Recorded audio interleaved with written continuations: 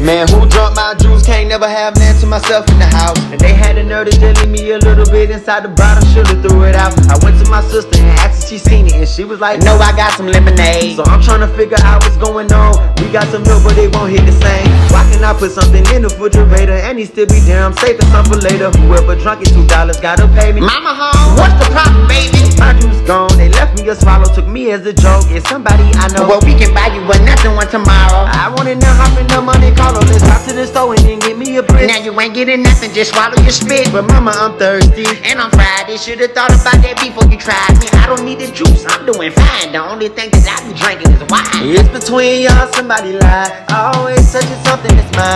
Somebody drunk my juice and they can't tell the truth. Let me tell you what the kid finna do. I'ma pull up to the store by two, don't touch my two. Jay went and got some new. I'm thirsty. And I'm Friday, zip your lips, don't say nothing about me. But I'm thirsty. And I'm Friday, like I said, don't say nothing about me, baby.